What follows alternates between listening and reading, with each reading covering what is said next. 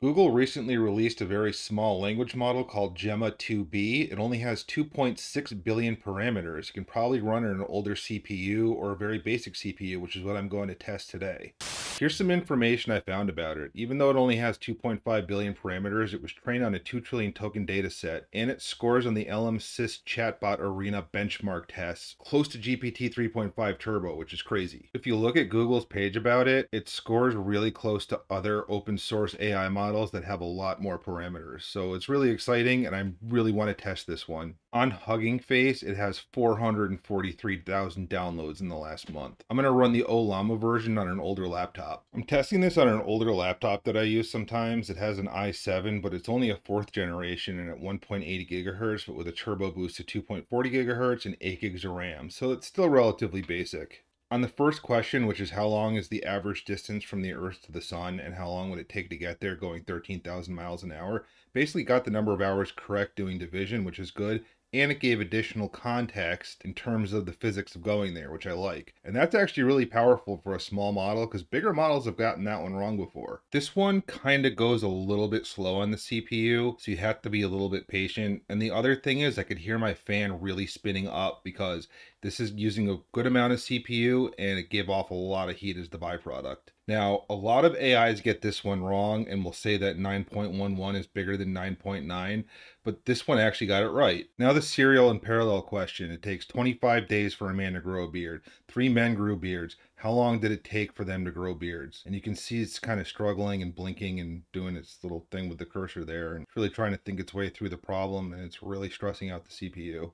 I mean, it didn't overheat, but the fan was really going. After a good couple of minutes, it gave the answer finally, and it looks like it was assuming parallel and that all the men would grow beards at the same time. But it also said it depends on their individual growth patterns, so there it goes, giving some logical additional context. Now, the door guarding question. You're facing two doors guarded by two guards, one of whom always tells the truth and the other always lies. One door leads to certain danger while the other leads to safety. You can ask one guard one question to determine which door to choose. What question should you ask? This is correct, ask one guard what the other one would say. So far, this is spot on. This is really on point. Finally, write an addition and subtraction calculator in Python. All right, let's test this code out. Enter first number, 5. Enter second number, 5. Enter arithmetic operation, plus 10.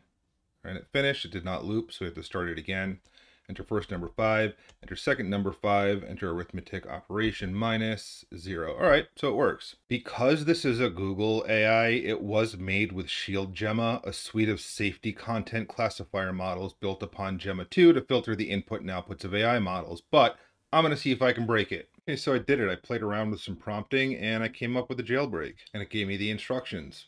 A model this small that's this accurate and precise shows that there's going to be a pathway towards edge computing with AI. You can chat with AIs that are in data centers like ChatGPT and others that use big amounts of compute on massive farms of GPUs. You can also run AIs on your home GPU, but you're also going to want AIs to run on a CPU that are very small because you have to divide up all the compute across data centers, home GPUs, and home CPUs. You can't just put all the stress on data centers. What you're going to see more of as time goes on is AI chat models that are local on laptops and computers. If you're into prompting and you want to try jailbreaking this, I'm looking for jailbreaks that are a little more elegant and shorter than what I did because I think that the one I did was kind of long and filled up the context window. So if you want to post in the comments what you come up with, it's appreciated. Thank you. Well, thanks for hanging out and watching all the way to the end.